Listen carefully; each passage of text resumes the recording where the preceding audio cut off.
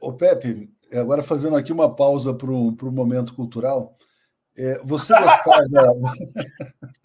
Não, você. Pô, é, é, o seguinte, você gostava do, do Belchior na, na sua fase musical, né? Não, não, não muito. Mas só, só para fazer um comentário, porque uma pessoa falou aqui: parem de assustar as pessoas e deem informações reais, né? Aí eu lembrei da alucinação do Belchior, porque ele vivia na alucinação, porque a vida é muito pior do que a alucinação. Se, se a é gente está aqui numa alucinação, a realidade é muito mais perigosa. Não estamos assustando ninguém. Se alguém está minha... acontecendo, vá para as montanhas, minha... né? vá para as montanhas. As minhas referências eram diferentes, Leonardo. Uma das minhas referências era o William Burroughs. E o que o William Burroughs escrevia, aquelas coisas que pareciam delírios absolutos, era basicamente ele dizendo que a realidade é muito pior a realidade do que é muito pior. a ficção que eu estou vendendo para vocês. Exatamente. Um, a, a, aquela definição maravilhosa dele de que a linguagem é um vírus que veio do espaço sideral. Uh, mas da maneira como você pode mexer com a linguagem, que é o que ele fazia, você pode vender uma realidade que vem do espaço sideral e qualificar essa realidade do espaço sideral e fazer o leitor compará-la com a realidade que ele vive. E ele vai ver que a realidade que o sideral talvez não, não seja tão tóxica quanto a realidade que ele está vivendo. Ou seja, era, era uma, conceitualmente um negócio super sofisticado. Né? É, eu, acho que, eu acho que isso aqui, o que aconteceu no Líbano, ainda vai ser tratado como um, um divisor de águas mesmo, sabe, na história Sim, é. das, da violência. É. Né, violência a gente, muitos de nós usamos talvez demais a expressão divisor de águas, mas esse é, porque agora ele ataca diretamente a segurança pessoal de cada um no planeta inteiro, indiscriminadamente.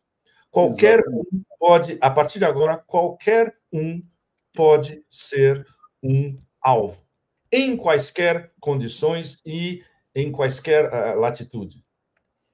É, é, é, um divisor de águas mesmo. E vai instaurar um clima de, de, de medo generalizado que convém, especialmente, Leonardo, e aí, aí entrando mais fundo a sério, não só o projeto zionista, mas o projeto da plutocracia ocidental, que está vendo que eles estão perdendo em todos os terrenos geopolítico, geoeconômico, uh, diplomático, com a ascensão do mundo multipolar, com a ascensão dos BRICS. Não se esqueçam nunca. A atual guerra eterna de, uh, em diversos níveis é uma guerra não só contra o que os, a doutrina americana, por escrito, qualifica como as três ameaças existenciais principais aos Estados Unidos: Rússia, China e Irã não é coincidência que são provavelmente os três principais membros dos BRICS. O Irã agora é mais importante nos BRICS do que os outros. Me desculpem no Brasil, mas isso é, mas isso é fato, entende? Uh, não foi o telefonema do Putin ao Lula ontem que vai mudar essa história. Não mesmo. Mas, mas vamos, vamos passar para isso, para a questão russa, pelo seguinte: Sim. só para a gente fechar Líbano, né? Quer dizer, hoje qualquer pessoa, então, ela é geolocalizável pelo Sim. WhatsApp pelo Facebook, pelo GPS, pelo Waze, e cada pessoa hoje tem uma bomba do lado, né? Quer dizer, todo mundo carrega uma, uma, bomba potencial. Bomba. Carregando uma bomba potencial. Você está aqui e a bomba está aqui, né? Exatamente. A bomba está aí, exatamente. É, aqui. É, o Reginaldo me pergunta: Arthur, você lembra quando os celulares Samsung começaram a explodir durante voos aéreos? Foram proibidos de estarem ligados durante voos? Pois é. Sim, sim. Vamos ver o que vai acontecer nas companhias aéreas. Mas, bom, o Putin ligou para o Lula, falaram sobre. as companhias aéreas agora, né, Leonardo? Pois é. Mas as pessoas e... gostam de viajar tal, tem isso. E o, que vai, e o que vai acontecer nos aeroportos? Eles vão confiscar tudo? Pois Daqui é. a pouco você não vai mais poder viajar com, com telefone e com laptop. É verdade. É verdade. É, é, pode, chegar, pode chegar a esse ponto. É, vamos, vamos, vamos, vamos voltar para o ecossocialismo. Acho que essa é. é o, o, Pô, eu estou a favor. Ilha deserta, sem nada. Ilhas desertas, exatamente, sem nada, é isso. A, a Lagoa Azul, a Lagoa Azul. Nossa, exatamente, a Lagoa Azul. Ah, e ainda é, tem algumas, viu, Leonardo? Especialmente na Ásia, tem umas lagoas azuis virgens ainda. No Brasil deve ter ainda, né? Isso. Praias Mas, totalmente virgens. Né? O, Putin ligou para o Lula, falaram sobre a proposta de paz uh, sino-brasileira para a Ucrânia. Vem a cúpula dos BRICS em Kazan. Uh, a eleição americana está chegando. O Zelensky perdeu a guerra, mas está dizendo que vai usar armas de longo alcance contra a Rússia. Aliás, o nosso tema seria esse, né? Se não tivesse havido o ataque nosso ao tema ainda Não, nosso tema ainda é esse. Nós temos não, não, sim, mas o, o, tema inicial seria essa questão das armas de longo alcance. Vamos falar sobre isso, quer dizer, uh, o Zelensky vai ser louco de usar, os ingleses vão ser loucos a ponto de atacarem o território russo. Estamos chegando perto da guerra nuclear, como fala o Jeffrey Sachs, como tanta gente tem dito? É, mas a gente a gente estava na semana passada ou retrasada? Na semana passada, a gente estava a, a, a um milímetro. Até que, com a paciência ah, Lao Tse que tem Vladimir Putin, ele tirou o fuso da granada naquela famosa entrevista impromptu que ele deu em São Petersburgo. Ele estava saindo de um fórum, ele estava saindo da praça principal em São Petersburgo, o, Hermitage atrás, e estava o repórter que sempre, o, repórter da Rossia One, que sempre entrevista o Putin. Ele tem acesso ao Putin direto, praticamente toda semana, o Zarubin. O Zarubin chega com o microfone e pergunta diretamente para ele: o que, que se isso acontecer? E a resposta do Putin foi um primor. Ele falou: bom, isso significa que eles estão mudando as regras desse conflito. E se isso acontecer, vai significar, na prática, que os Estados Unidos e a OTAN estão em guerra contra a Rússia. E nesse caso, nós vamos analisar a modificação das regras do conflito e vamos responder de acordo com a nossa análise. Foi uma resposta elegantíssima e, ao mesmo tempo, diretíssima, especialmente para os americanos e para os ingleses. O que, que aconteceu imediatamente na, na sequência? O, esses uh, auto-erigidos líderes da OTAN começaram a chafurdar na lama e a escorregar como ratos de volta para o bueiro imediatamente. Ah, não, não é isso. Os americanos, por exemplo, não deram autorização para os ucranianos usarem os Attack MS, os mísseis americanos. E os ingleses fizeram um carnaval típico de, de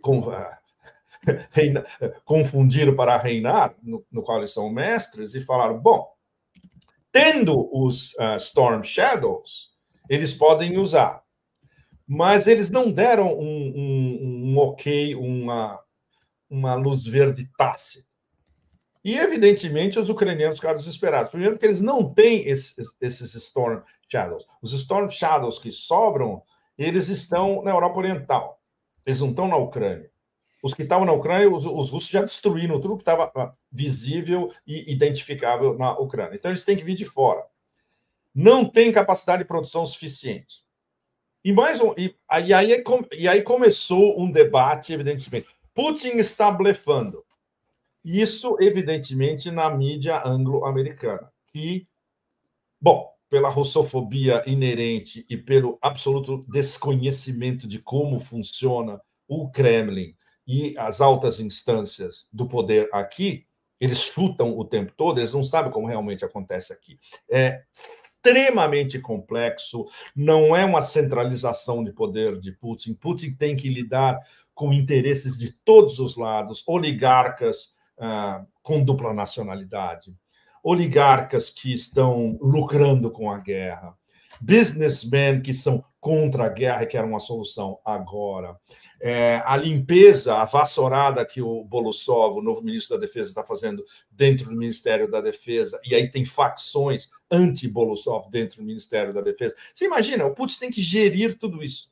Ele tem que ser um manager cósmico, estratosférico, para conseguir coordenar todos esses interesses. Então, uma, uma, uma resposta, Putin está blefando uma resposta direta a uma provocação como essa, ele deixou bem claro.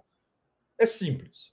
Se a gente considerar que, por exemplo, um míssil desses, que pode é, carregar uma ogiva nuclear, veja bem, super importante, é uma ameaça existencial à Federação Russa, a gente vai responder É, e aí, quem, quem deu o adjetivo não foi o Putin, foi o Ryabkov, o vice-ministro das Relações Exteriores. Ele falou: a nossa resposta vai ser muito desagradável. Para bom. Uma, uma bomba atômica em Londres, mais ou menos, tipo isso, Pepe? Como? Uma bomba, um míssil hipersônico nuclear em Londres? Eles podem fazer o que eles quiserem, porque eles têm todos os cenários possíveis, Leonardo. Pode ser o Poseidon, o submarino nuclear que é, é capaz de provocar um tsunami com ondas de 30 metros de altura. Pode ser uma série de Kinzhaus, uma série de Avangard hipersônicos, com ou sem ogivas nucleares. Eles têm todos os cenários possíveis. Os, os, o, o, o, sistema russo, o Kremlin e o Ministério da Defesa, eles olha, a gente está preparado para tudo. E é isso que os diplomatas russos, uh, em cadeia, estão falando: olha, vocês podem provocar o que vocês quiserem. A resposta vai ser ao nível da provocação de vocês. Você diria, Ele... Pepe, o mundo perto da Terceira Guerra Mundial? Desculpe? Chegamos perto da Terceira Guerra Mundial nessa semana? É que eu disse alguns minutos atrás. Na semana passada estava a alguns. É, segundo o relógio do boletim dos cientistas atômicos, pode ter chegado a um minuto antes. Sem dúvida. É, o relógio costuma estar a cinco minutos, né? Ah, na semana passada estava um minuto. Porque se os caras tivessem dado a ordem na semana passada e tivesse havido um ataque imediatamente na sequência, assumindo que tinha Storm Shadows né, na Ucrânia e assumindo que os, os, os operativos da OTAN estivessem prontos para isso, com ordens vindas de Washington, de Londres e de Bruxelas ao mesmo tempo, e super importante, já tinha uma lista de alvos. Os ucranianos, entre aspas, na verdade, a OTAN já tinha passado para a própria OTAN, entre eles, uma lista enorme de alvos potenciais dentro da Federação Russa. Se isso tivesse acontecido na semana passada, bom, a gente não estaria aqui conversando, né? Bom, você, você estaria porque você está na América do Sul, que seria poupado. Tem essa profecia, viu? Você sabe que eu sempre, eu, sempre, eu estudava no colégio em Brasília, que era o Colégio Dom Bosco, dos padres salesianos, né? E aí tinha uma profecia de Dom Bosco que depois da Terceira Guerra Mundial o Brasil ia pairar, seria o Jardim do Éden, uma coisa desse tipo. Ah, mas o, se houver terceira guerra mundial, o paraíso do futuro vai ser o Brasil, sem dúvida. Será, será que sobra? Não vai ter aquela nuvem, aquela nuvem tóxica? Mas a nuvem vai ser fundamentalmente no hemisfério norte, né? Talvez ah, ela pare uh, perto do Equador, mas o hemisfério Primeira... norte está condenado. Primeira boa notícia do dia, hein, Pepe? Ou seja, fiquem aí, vocês estão no lugar certo. é, é isso aí. E o Pepe tem planos aí de vir para o Rio de Janeiro futuramente, então quem sabe. Mas, é, mas Pepe, quando eu perguntei se, se chegou perto da Terceira Guerra Mundial, porque eu fico pensando o seguinte, quer dizer, hum. esses caras, eles vão além do blefe, eles seriam capazes, né? Essa que é a grande questão que me intriga.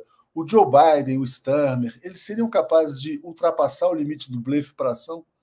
Não, porque eles são covardes. Ah, na, na, na, coluna que deve sair provavelmente hoje aqui, ah, eu, eu, eu, tenho uma sessão da coluna falando justamente sobre isso. Uma coisa é você estar tá criticando Putin como fraquinho, porque todas as, as linhas vermelhas ele não teve uma resposta à altura. Outra coisa é na hora que você ultrapassa a linha vermelha definitiva, a resposta russa vai ser, como ele mesmo já disse, a resposta russa não vai sobrar nada. Ou seja, qual é a lógica não só de Putin, como de Xi Jinping. E dos iranianos também, especialmente, que são os três alvos principais do, do império. Seja o império zionista, seja o império americano, seja o que é, o império zionista americano. Eles estão absorvendo todas as pancadas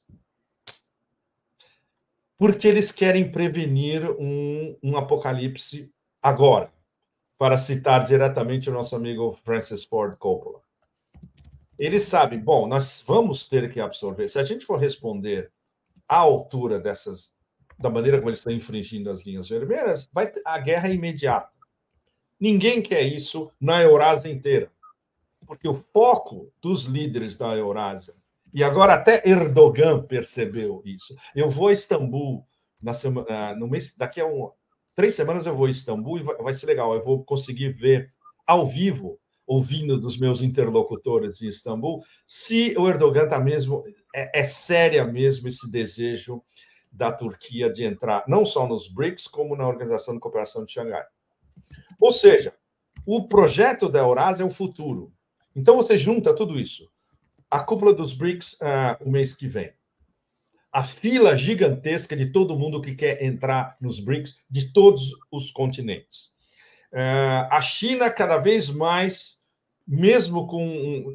Não está não, não tá numa crise econômica, ela está crescendo um pouco menos do que poderia estar crescendo agora, o que não é grande novidade, mas está crescendo a quase 5% ao ano, que é enorme. Né? Uh, o fato de que eles estão ocupando todas as posições chaves eh, tecnológicas em diversos domínios, de acordo com o plano deles mesmos, que é o Made in China 2025. A gente está chegando em 2025, ano que vem, e a China vai estar tá em pelo menos sete dos dez é, é, como é que chama, domínios que ela qualificou, ela vai ser o número um do mundo. E pro, provavelmente chegando a 8, 9, 10, brevíssimo entre 2025 e 2026. Tudo. Física quântica, é, carros elétricos, painéis solares, a, a, inteligência artificial, supercomputadores, tudo. Ah, então, o que eles estão vendo? Na Eurásia inteira, eles estão vendo o futuro e eles estão tentando planejar um futuro diferente do mundo unipolar que é o, o, oposto absoluto da lógica das guerras eternas e dessa plutocracia ocidental desesperada com o fato de que eles estão perdendo terreno em todos os domínios e eles não têm um plano B. É, esse é o, o, o quadro do nosso século, Leonardo, reduzido ao máximo. Eu tentei colocar isso no título do meu último livro, né, de uma maneira um pouco tentando fazer uma pequena brincadeira para aliviar a barra pesada. Eurásia contra o Otanistão. No fundo, é isso. O, Otanistão inclui Israel, por causa da lógica das guerras eternas. E Eurásia é todo mundo, e agora incluindo Erdogan, foi convidado e vem para Kazan o mês que vem. Uh, disse que quer entrar nos BRICS mesmo, e na hora que isso acontecer, a OTAN desmilingue completamente, mas aí é outra coisa importantíssima que eu quero entrar daqui a dois minutos falando sobre isso. Como a OTAN está se reconfigurando. E, inclusive, os caras pensando, os caras já pensaram na possibilidade da Turquia sair. Então, eles estão mudando a, a lógica interna da OTAN, sabendo que a possibilidade da Turquia sair é cada vez maior. Né? E, e você vê, por exemplo, Vladivostok, há duas semanas, a gente estava discutindo o futuro da integração do, do leste da Rússia gigantesco com a Eurásia inteira, com o sudeste da Ásia e com o resto da Ásia, com o sul da Ásia. Por exemplo, no, no, no nosso, na nossa sessão, Leonardo, em Vladivostok, estava, só para vocês terem uma ideia, o Zhang Weiwei, da Universidade de Fudan, que é um dos maiores intelectuais eh, chineses contemporâneos, o embaixador da Índia na Rússia, o ex-primeiro-ministro do Nepal, uma, professora de é, Relações Internacionais especi, especializada em defesa da Indonésia, a Cone, brilhante. um cara de um think tank de Myanmar, Burma. Isso, isso na nossa mesa discutindo multipolaridade, ou seja, era um, um, um, um, um mini congresso do mundo multipolar discutindo as possibilidades do mundo multipolar.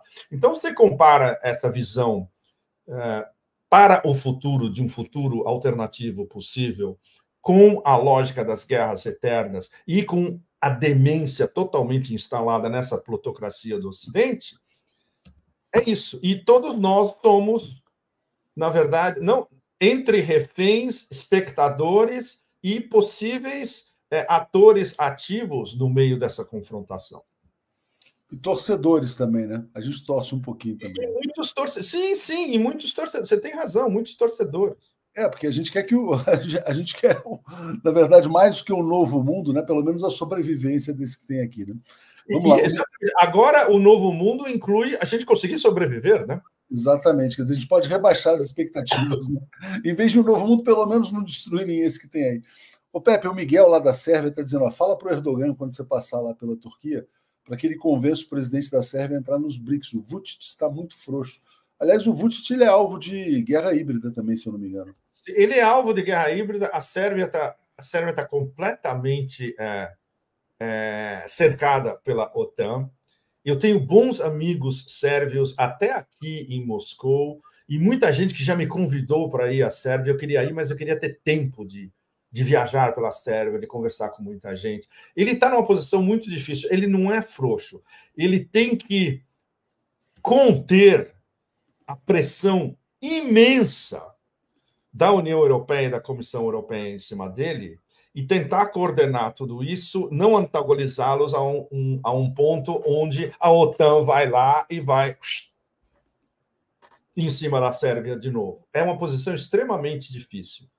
Eu acho que numa segunda etapa é muito possível, especialmente pelo papel da Rússia e da China, eles convidarem a Sérvia para ser parte dos BRICS sem dúvida. Isso pode acontecer. Não agora, não nessa próxima leva. A próxima leva, segundo Lavrov, ele mesmo, esse ano não não teria expansão porque eles querem coordenar os membros dessa primeira expansão.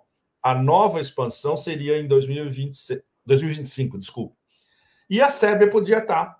Por, por exemplo, por enquanto, tem vários candidatos lá em cima: uh, Indonésia, uh, Vietnã, uh, Cazaquistão, Bolívia, Venezuela, especialmente porque os três, Rússia, China e Irã, todos apoiam a Venezuela. Então, é, esses, são, esses estão na, na primeira leva. Na segunda leva, entre 2025 e 2026, poderia ser possível para a Sérvia. E no caso da Turquia, dependendo de quanto de quão ávido esteja Erdogan, a Turquia pode entrar ano que vem até. Ô Pepe, deixa eu só trazer um ponto econômico aqui, que é o seguinte. Sim. Semana passada eu estava escutando uma live aí do, do Jeffrey Sachs com aquele judge napolitano, que eu acho que você vai falar com o judge napolitano hoje, né? Eu, exatamente, eu sou, eu sou agora, uh, um, um, um, como eles chamam, um regular ah, eu, que bom. Eu sou um regular do, do Judge Knapp e a gente hoje a nossa entrevista é à meia-noite aqui. Então, legal. Então, hoje tem Pepe no Judge Knapp. E o, o, Jeffrey ele fala o seguinte: quer dizer, que os Estados Unidos poderiam cooperar, poderiam ter uma postura colaborativa, no sentido de que, olha, poderiam Sim. estar trabalhando com Rússia, com China, com Eurásia, na, na, na, na busca de uma nova ordem é, que não seja essa que a gente tem hoje. Mas eu me pergunto, Pepe, a economia americana se sustentaria fora de um sistema é, predador, colonialista, imperialista, de extração de riquezas alheias? Essa é Excelente é pergunta. Essa é a pergunta-chave, Leonardo. E a resposta curta é não. Uh, a primeira. A, a, a primeira é o primeiro a corroborar essa resposta não, eu aconselho vocês todos a irem ao site do Michael Hudson e lerem tudo que o Michael escreveu nos últimos meses. Essa, essa é a resposta erudita, juntando todos os nós e desenvolvendo a tese principal dele de que o sistema americano, agora endividado a 35 trilhões de dólares e explodindo, ele é baseado em FIRE, como define o Michael, que é finança especulativa, ah, instituições de segurança e de crédito, uh, e especulação imobiliária. Então, é assim que funciona a economia americana. Predatória, evidentemente, porque eles podem usar todo o sistema de Bretton Woods, que eles mesmos desenharam, e imporem ao resto do mundo.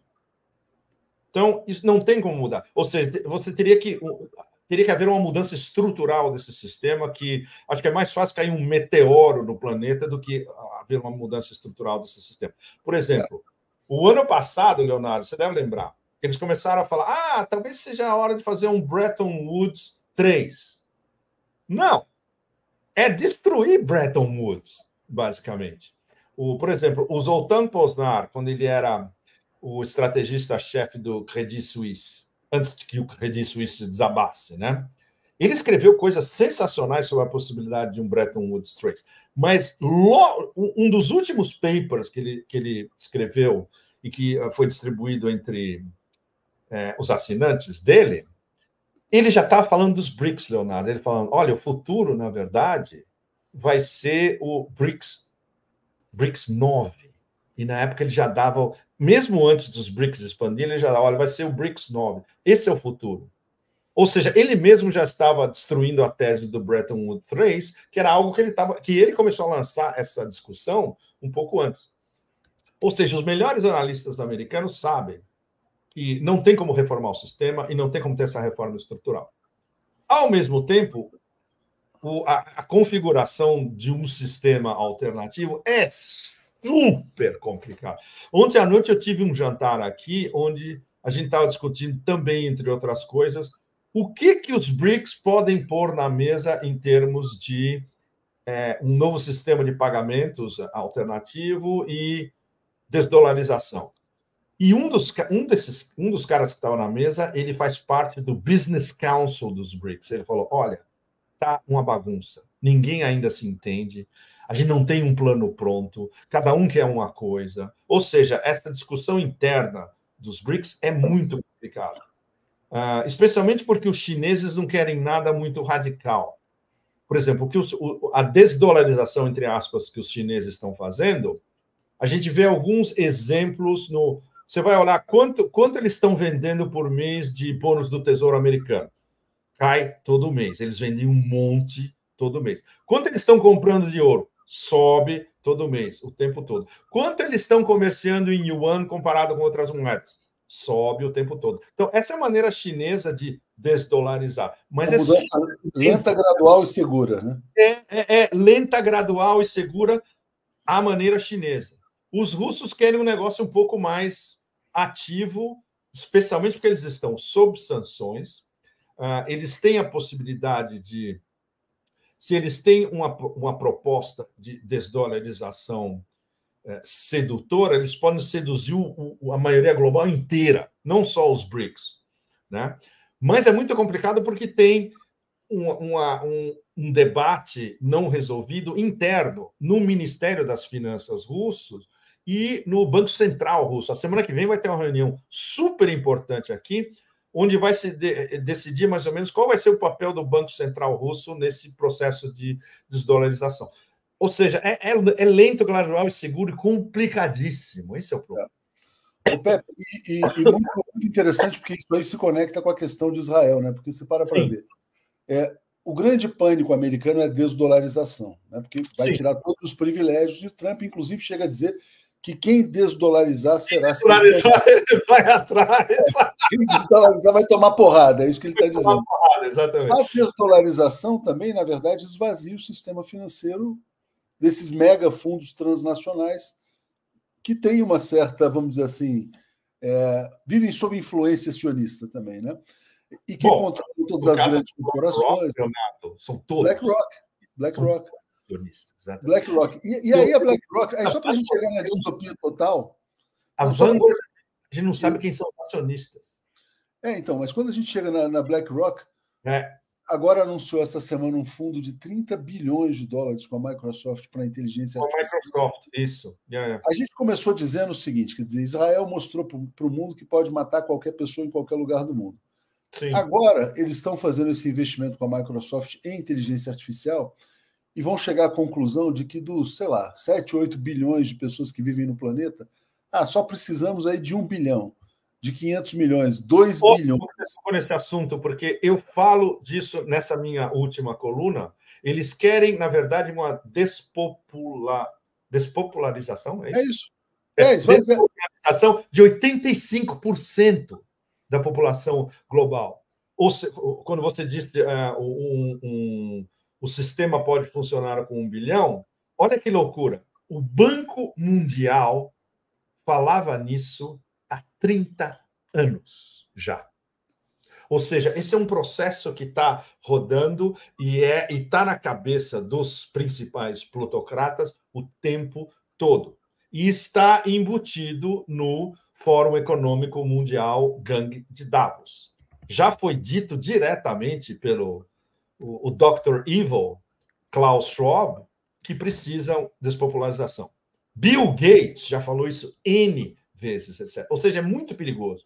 Na, na cabeça desses plutocratas, Great Reset, Davos Gang, etc., é isso. O sistema não precisa de, de, de digamos, de 7 milhões de deploráveis né, pelo planeta inteiro.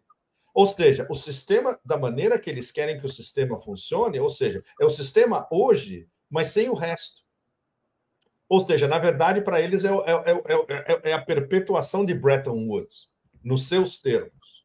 E impossível aceitar um, um input da, do, do sul global, da maioria global, especialmente dos BRICS.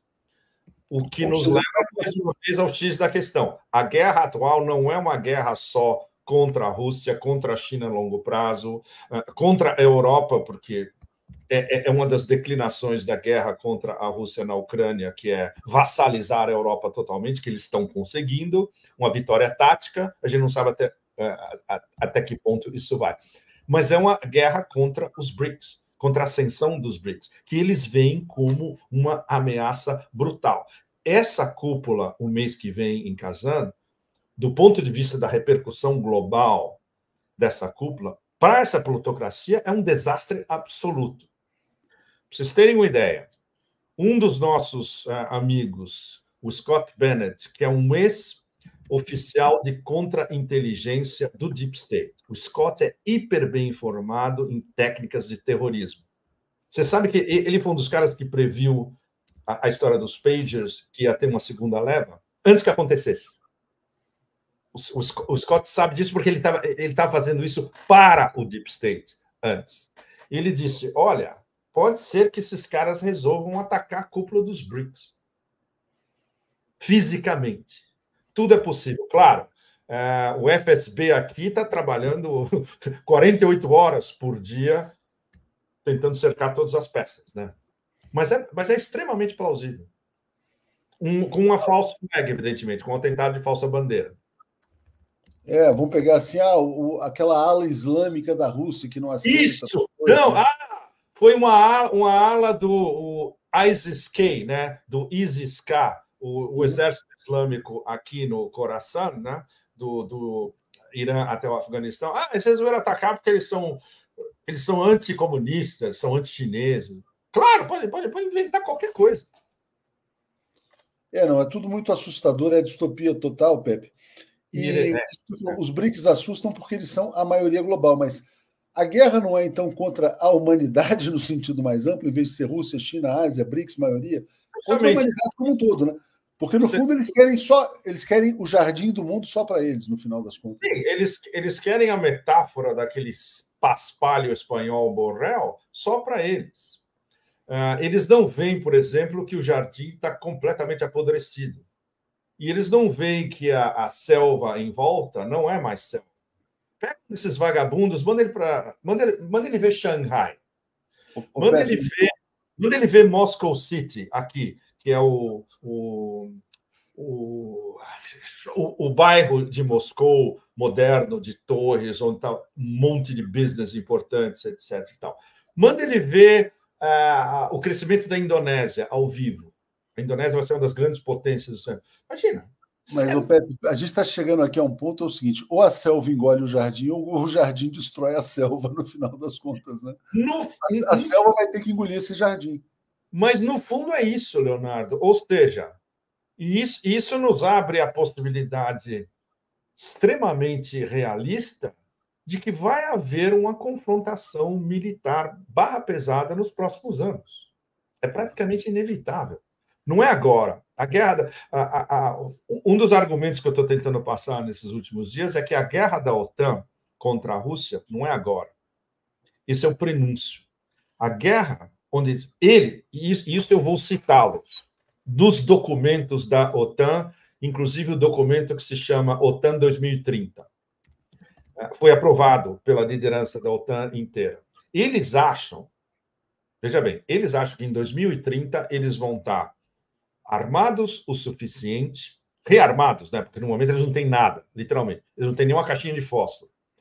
uh, tropas suficientes de todos os membros da OTAN uh, espalhadas e com é, tecnologia suficiente para. Eles vão tentar o quê?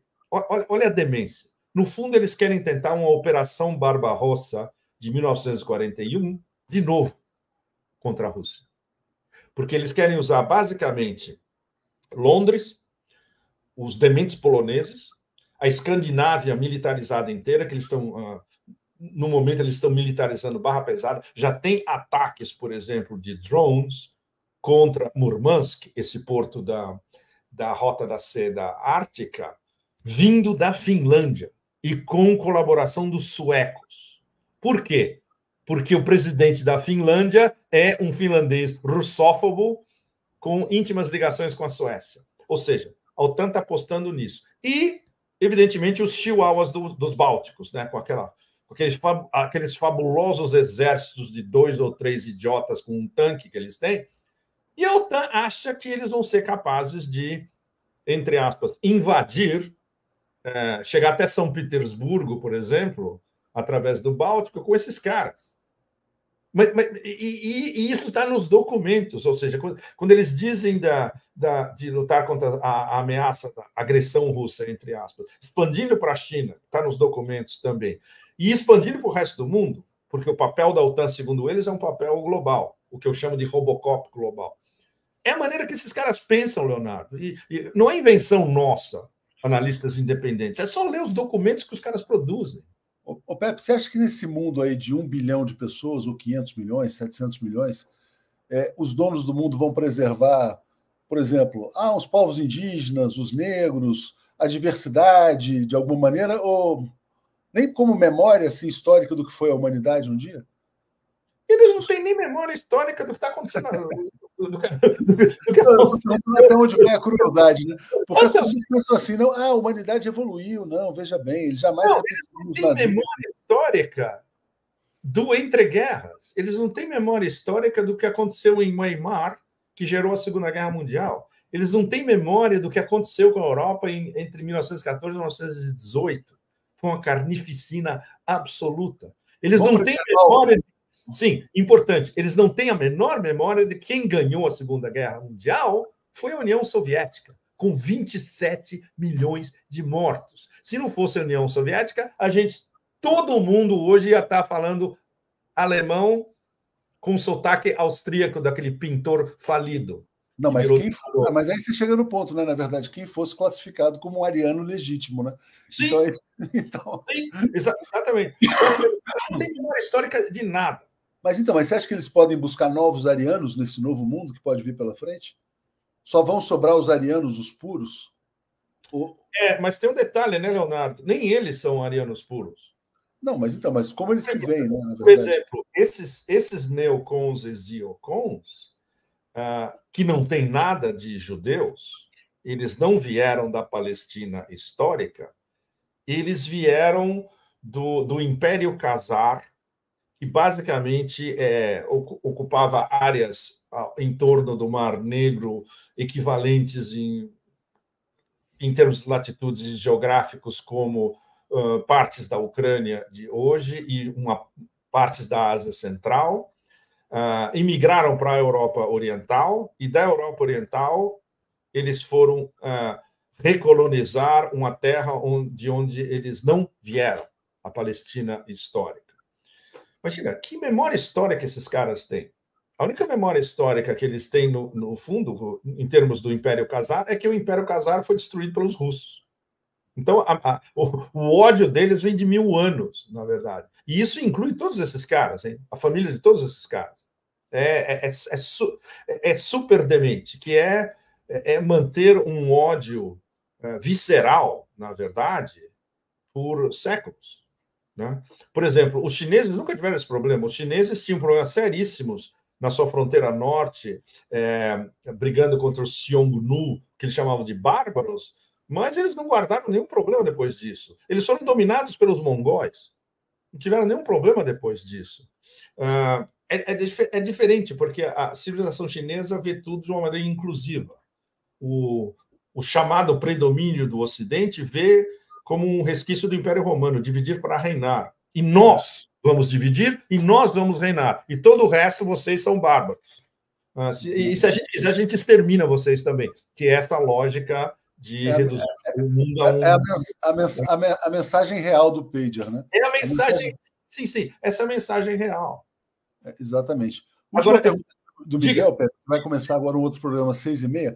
Você sim. acha que realmente haverá boots on the ground contra a Rússia? O cidadão comum europeu vai pegar armas para invadir a Rússia? De jeito nenhum. Ah, é, mas... Você não tem ideia do que é uma guerra real, mas desde, é, desde 1945, ou seja, todas as novas gerações não têm a menor ideia o que é uma guerra real. E quem participou da guerra real, está quase todo mundo morto agora.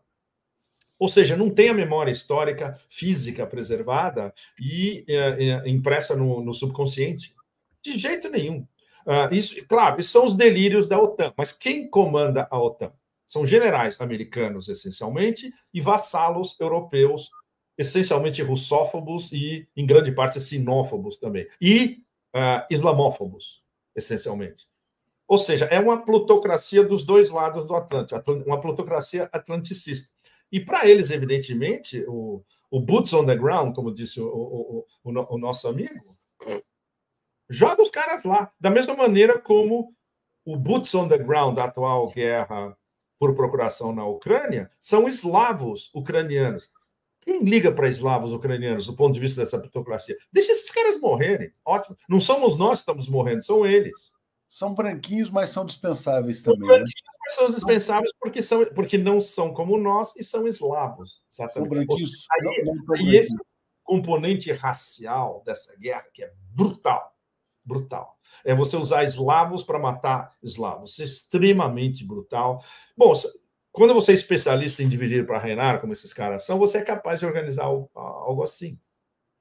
Exatamente. Pepe, olha só, vamos fechando por aqui. Muito boa essa entrevista. Eu queria recomendar a quem, não, a quem chegou tarde, peguem o começo, porque o começo foi sensacional para explicar o que aconteceu no Líbano, né? Enfim, quer dizer, o Líbano é um, como a gente falou, abrindo aí uma nova etapa da guerra do terror contra a humanidade, né? É isso. Pepe, muito bom, muito bom. Leonardo, bota o, te, bota o meu Telegram no, no ar, se você puder. É, eu tenho muito poucos brasileiros acompanhando o meu Telegram. É, disse, é muito engraçado, um amigo meu russo me disse: você vai perder um monte de brasileiros no Twitter X. Eu falei: não, não tem problema. Eu, eu peço para eles migrarem para o Telegram. Mas o Twitter vai voltar. Em breve o Twitter volta aí. Já, já, daqui, a pouco, daqui a pouco a Câmara ganha a eleição, Trump perde, Musk cai, as coisas vão mudando. Valeu, gente. Obrigado, Pepe. Obrigado, Obrigado a todos aí. todos.